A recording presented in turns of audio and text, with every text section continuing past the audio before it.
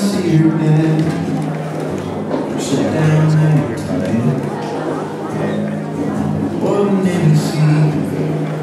I'd be asking for it. Guess that's why I left me be. In the living room by myself. With the leaves and birds and bedrooms up. I'm gonna share what